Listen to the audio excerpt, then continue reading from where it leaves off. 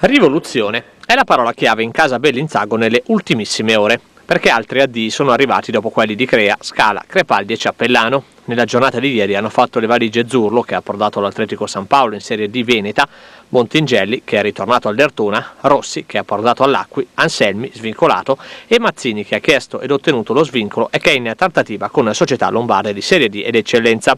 A tutti i giocatori vanno i ringraziamenti per quanto hanno dato alla causa giallo-blu in questi mesi, la comunicazione ufficiale della società di Patron Massaro. In rampa di lancio, pronti per atterrare a Bellinzago, ci sono gli attaccanti Visconti e Scaldaferro. Il primo si è già allenato con la squadra ma ha rimediato un infortunio. Se a livello fisico ci sarà il lascia passare sarà tesserato. Anche l'ex Borgosesia svincolato dovrebbe firmare nelle prossime ore. In questo momento in vista della suggestiva sfida di domenica con la Pro Settimo, avversaria della scorsa stagione in eccellenza, Kötting ha gli uomini contati. In attacco ad esempio ci sono solamente Massaro e il giovane Xixa. Io faccio con quello che ho a disposizione le parole dell'ex tecnico del Santiago. Intanto a Borgomanero è sfumato un obiettivo di mercato. Rognone, che era stato accostato alla squadra allenata da Giorgio Rotola, dovrebbe finire alla Junior Biellese, un buon acquisto per la squadra bianconera che si gioverebbe della prestazione di un giocatore che negli ultimi anni ha sempre giocato in Serie D a Borgosesia, Chieri e Novi Ligure.